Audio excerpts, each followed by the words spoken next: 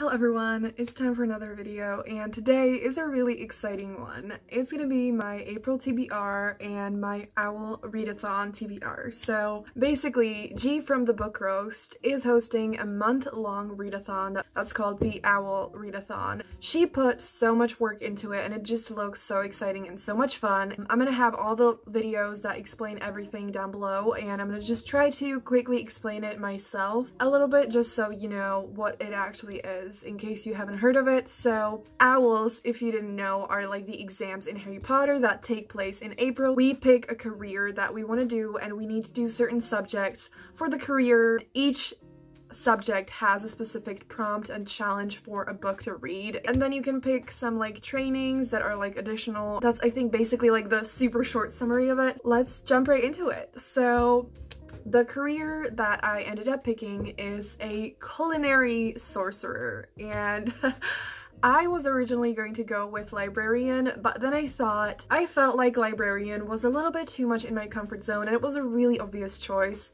And so I decided to go with something a bit more unique, a little bit more magical, and so I decided to pick culinary sorcerer because the thought of just making magical food. It was really fun and cool and exciting and yes, so the thing that I want to do is I want to focus on the subjects for my career, obviously.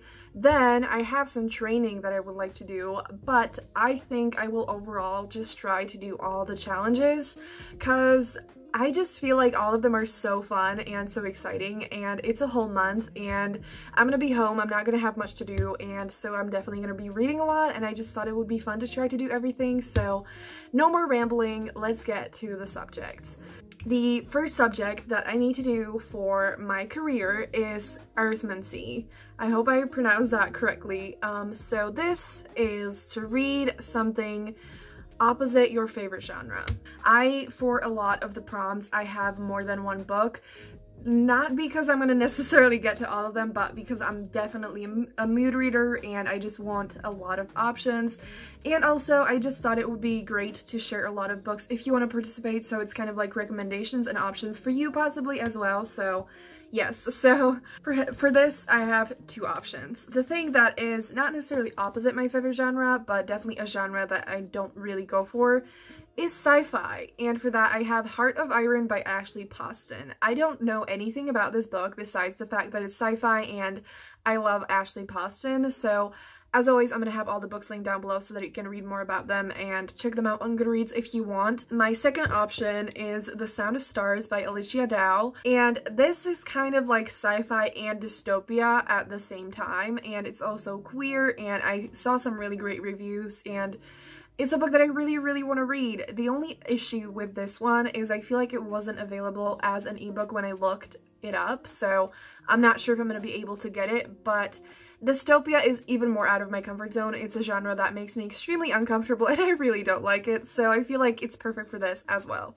The next subject is charms. So for charms, it is to read a book with a white cover and I have multiple options, but the one that I picked for this specific one is Restore Me by Tahereh Mafi. You probably know Shatter Me, um, so I'm not to get into what it is, but um, I've had this for a long time and I still haven't read it and you know in case you didn't know Shatter Me was originally gonna be a trilogy and then they decided to add three more books and so this is the first one out of the three additional books and I kind of do want to catch up on the series. Like, I understand the people that don't really want to read it, but I just like the thought of knowing where the characters go next. The next subject is herbology, for which the prompt is to read a book with a title that starts with an M. This was extremely difficult and I was just like, holy shit. But I managed to find a book, and that is Marriage Unarranged. I'm sorry I forgot the name of the author, but it's up on the screen. This book is just a fun rom-com and yeah, I have been really definitely in the mood for rom-coms with everything that's happening. I just want something chill and super fun and so this book is perfect for that. Also, if you have any more suggestions of books that you like that start with an M, please tell me in the comments down below. And the last subject for my career is potions, for which it's like the shrinking potion, and so it's to read a book under 150 pages.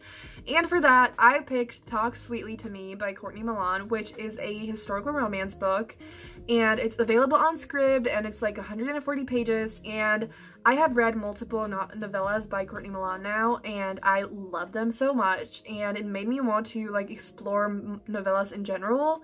So again, please, if you have any novella recommendations, tell me in the comments down below. Courtney Milan is amazing. That's all I know about this book, and that's all I need to know. So Yes. Now, to the training. I really loved the thought of merpeople linguistics, but the subject for that is herbology, which is already the one for my career, so I'm definitely gonna do this one. So, yeah, maybe I could try to read two books if I'm feeling, you know, extra. But again, I don't really know any other books that start with them. So we'll see. And the other training that I would like to do is Legal Defense of Fantastic Beasts. This is definitely not something that I would actually do if I were the same person I am in this life.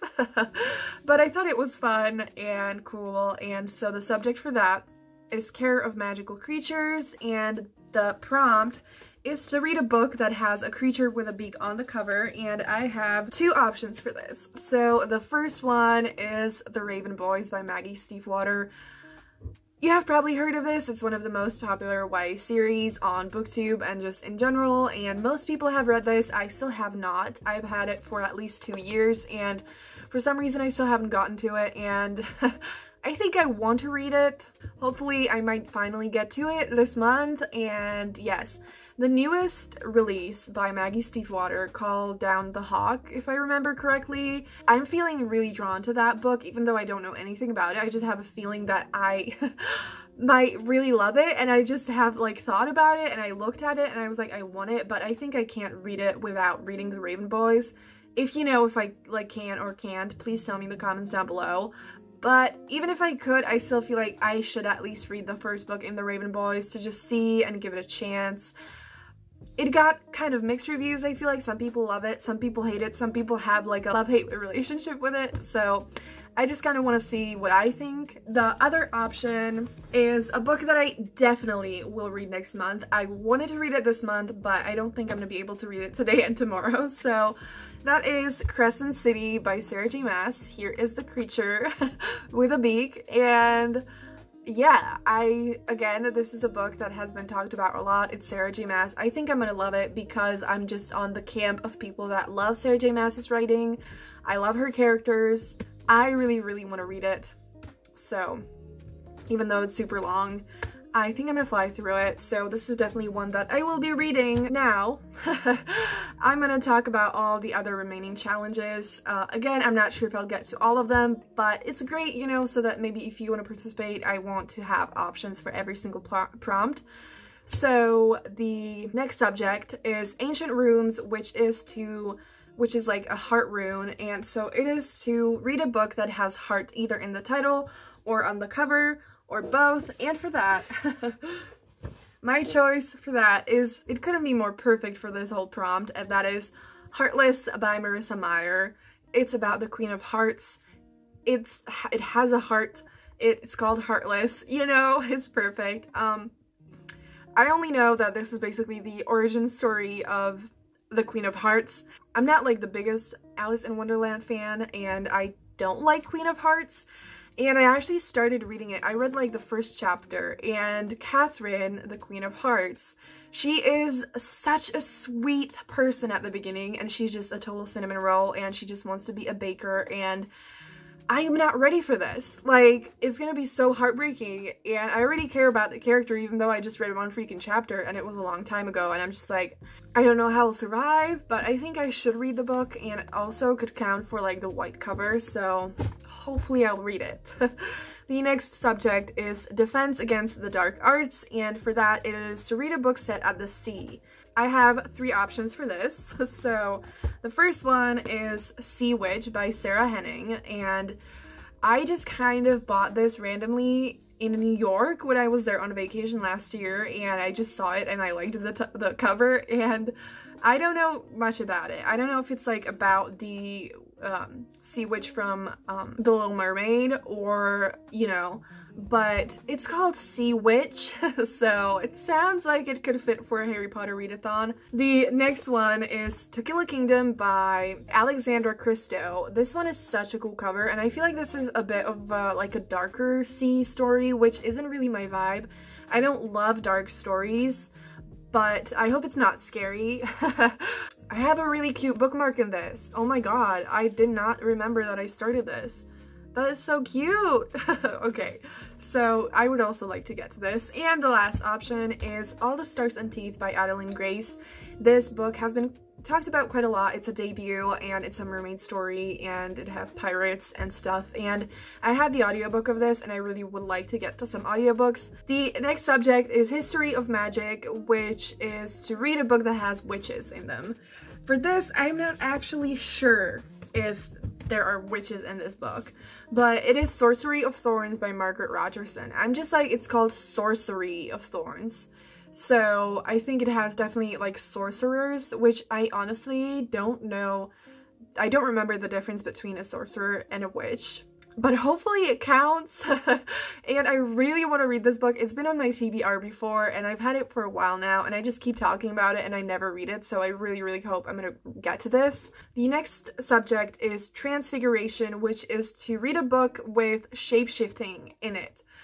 I did not really know what to pick for this. I feel like there's shape-shifting in so many books but I just could not come up with anything so but the one that I ended up picking is Wolf Song, and again, I'm sorry I don't remember the name of the author, but I know that this is a werewolf story, and it has male-male romance in it and its own voices, and it got some really great re reviews, and I'm like, werewolves kind of shapeshift, right?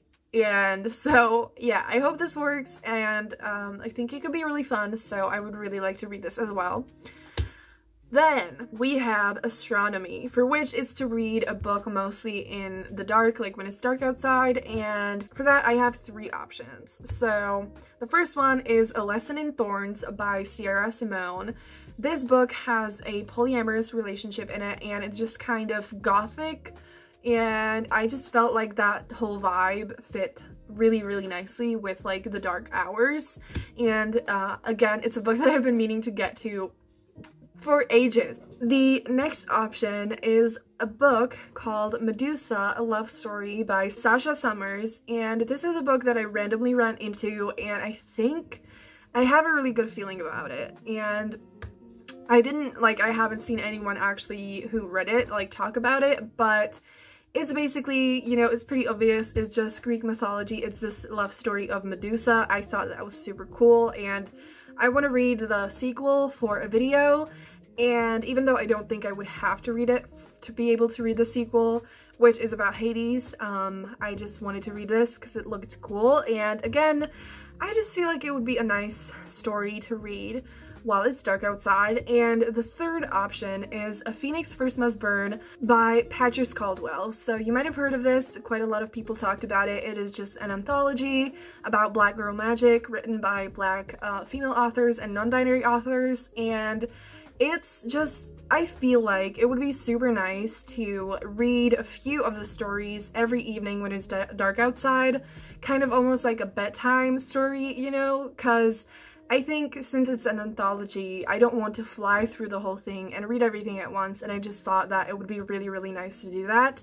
So I really, really want to do that. So yes. The next subject is divination, for which it's basically to pick a few books that you want to read, assign each of them a number, and then let a number generator decide your fate and which book you should read. And for that, I don't know where I put the book. Oh yeah. For that, it ended up being Children of Virtue and Vengeance by Tomi Adeyemi, which Finally, it's a freaking sign that I should get to this book. Because I bought it in December back when it came out and I absolutely adored Children of Blood and Bone. And I just have been procrastinating on this because the reviews and the ratings weren't really that great. But Chloe from Books with Chloe actually read it in one of her vlogs and I'm gonna have her channel link down below because this is random but she is absolutely amazing. I binge watched so many of her videos and I loved her so much. Uh, so she actually read this and she really really enjoyed it and she was like I don't understand why more people aren't talking about it so I was like I should freaking read it and then it happened to be to like win this whole thing so I was like I need to freaking read this. And finally, the last subject is Muggle Studies, for which is to read a contemporary. And for this, I have two options, but I might honestly end up reading something completely different because there are so many, you know, contemporary books. the first option is Always Never Yours by Emily Wibberley and Austin Siegemund-Broka, and you might have heard of this. I feel like the their books are quite popular, and I actually read this um, maybe like two years ago, and I adored it, and I remember absolutely nothing about it. And so I want to reread it because I would like to read the two other books the authors have written, even though I don't have to read this before those. I just kind of, you know, want to go chronologically since I don't remember anything about this. So maybe I will get to this one. And the other option is Tweet Cute, for which I, again, forgot the name of the authors. I'm sorry, I should have written it down, but and this is another one that I had the audiobook of and um, it got some really great reviews and the only thing I know about it, I think there's like a Twitter battle that's a part of it and I just liked the thought of like social media and like it just has quite a modern feel and I think it could be really cute.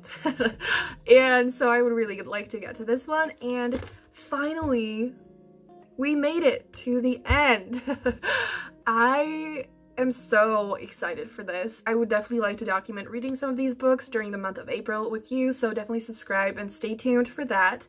And give this video a thumbs up if you enjoyed it. And yes, definitely, again, check out G's channel. I'm just so freaking excited. And yes, so that's going to be it for this video. Have a great day, and I'm going to see you soon. Bye!